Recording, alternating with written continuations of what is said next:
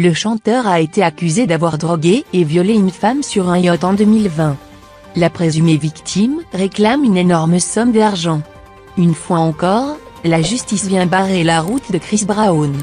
Le chanteur de 32 ans a été accusé d'avoir drogué puis violé une jeune femme. Les faits remonteraient au 30 décembre 2020.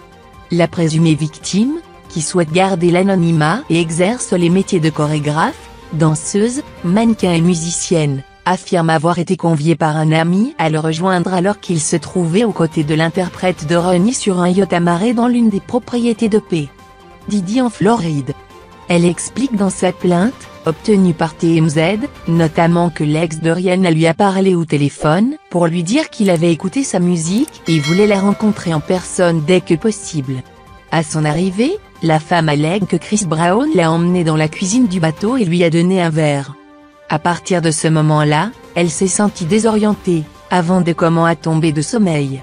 La star l'aurait conduite dans une chambre qui a ensuite été fermée à clé. Il l'aurait ensuite déshabillée et embrassée alors qu'elle lui disait d'arrêter.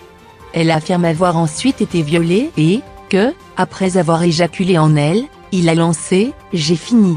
Elle a ajouté au dossier un message du chanteur lui a demandant de prendre la pilule du lendemain.